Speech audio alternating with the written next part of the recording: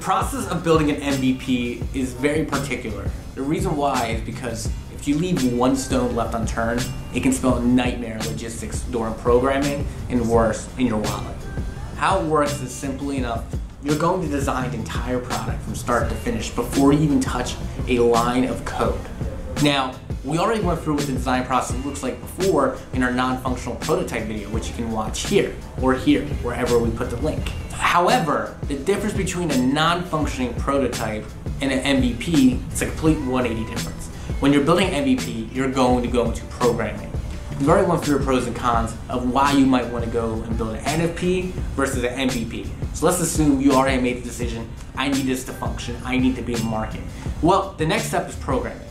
Now, if you're building a web app, programming is broken into two phases, front-end programming and back-end programming. Front-end is what renders on a web browser. If you ever gone on a website or a web app before, that is what actually makes aesthetics appear and load and work. The back end happens after that. That's what actually adds the logic, what makes the brain of your app function, and it all connects together that way. Now, if you're going mobile app, both the front end and back end happen simultaneously because with mobile app development, backend actually dictates what the aesthetic of the app looks like too. So there's no degree of separation here. When it's all said and done, it's all the same thing. It's creating the app so that it will actually function on whatever device that you're using. Unlike a non-functional prototype, when you're building an MVP, it is going to function. A product that real users will be able to access going to your .com URL or searching for you on the Apple App Store or the Google Play Store and can download it and use it. And if you're making it to make you money, we'll be able to actually generate real transactions, have the ability for you to handle credit cards, debit cards, bank transactions, however you set it up. If you're trying to get real users that are real accounts, they're there forever for you to market, for you to pay attention to, to collect data for.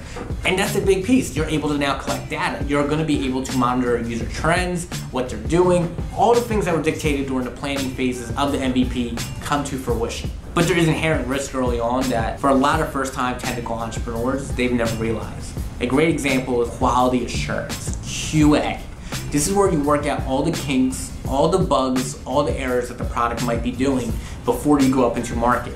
You might have experienced a bug before yourself on major products, Google and Facebook and everything in between. Perhaps the coding needs to be fleshed out, or there's some incompatibility, or during device testing, certain devices aren't cooperating right. But your goal is to eliminate as many as possible, especially the noticeable ones before you go live. This is where you test on a bunch of different devices, a bunch of different operating systems, where you test under different factors, because your goal is to crush them before your users witness them, because it's so hard to change that impression, and your goal is to make it the best one possible. Usually between between 10 to 20% of a project timeline is spent just in testing or working out kinks and making sure it comes to life. Because you only have one shot to make a great first impression, and any quality development firm, any quality technical team is going to ensure that that first impression is knocked out of the park.